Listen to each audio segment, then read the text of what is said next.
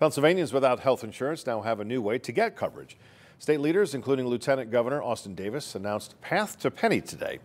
It's a tax season program for connecting uninsured Pennsylvanians with health care coverage through an optional tax form. the lieutenant governor says it's important to make sure that people know about all their options.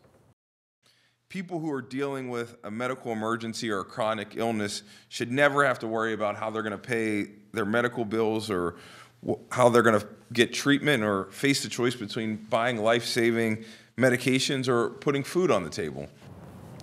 Tax filers who complete the optional Rev 1882 form will receive a notice from Pennie, which will include an estimate of potential financial savings on coverage, as well as a 60-day enrollment window.